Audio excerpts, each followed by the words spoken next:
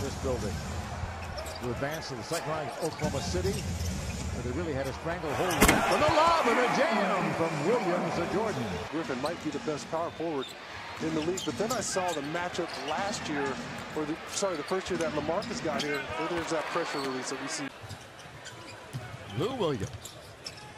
The lob, the jam.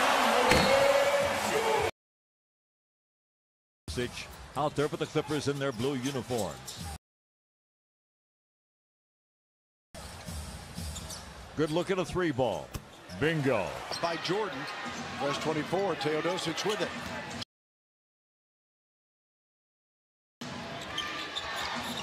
Rivers rotates it. Wilson